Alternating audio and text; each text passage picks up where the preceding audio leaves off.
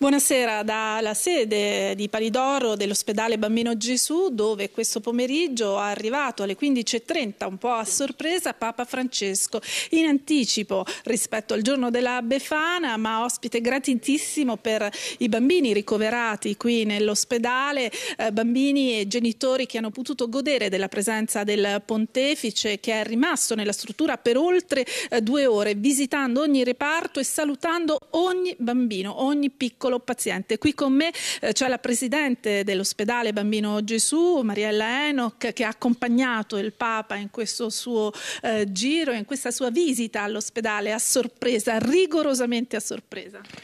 Sì, rigorosamente a sorpresa, mm, è vero, mi ha chiesto proprio il massimo silenzio, la massima riservatezza, perché desiderava che fosse una visita fatta solo all'ospedale, ai bambini, alle famiglie, a tutti coloro che nell'ospedale lavorano. Quindi era una visita dedicata solo ed esclusivamente all'interno dell'ospedale. Quindi abbiamo mantenuto il più possibile questa riservatezza. E, e la visita?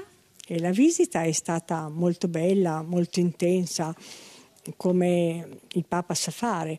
Quindi lui non dice molte parole, ma parla tantissimo col cuore, parla con gli occhi, parla con la sua persona, parla col suo modo di accarezzare i bambini e di dare una carezza consolatoria alle famiglie e di dire a tutto il personale non siete voi che dovete ringraziare me, ma sono io che devo ringraziare voi.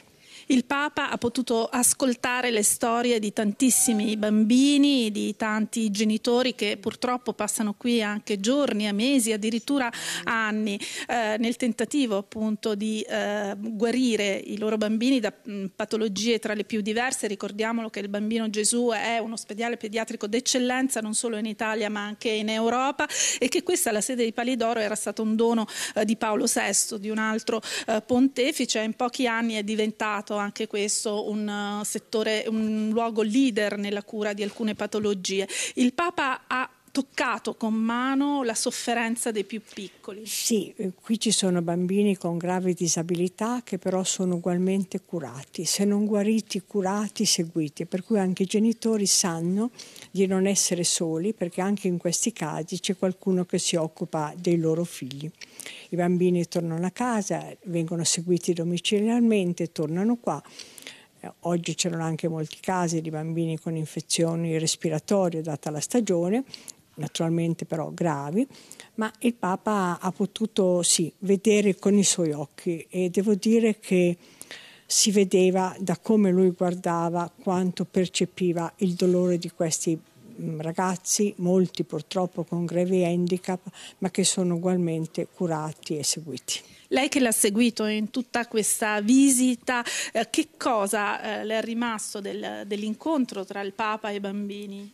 Io ho fatto in modo che fossero i medici, gli infermieri a essergli vicino mentre illustravano i casi, però ogni tanto i suoi occhi incrociavano i miei o i miei incrociavano i suoi e in quel momento ci siamo scambiati di quale sofferenza eravamo testimoni.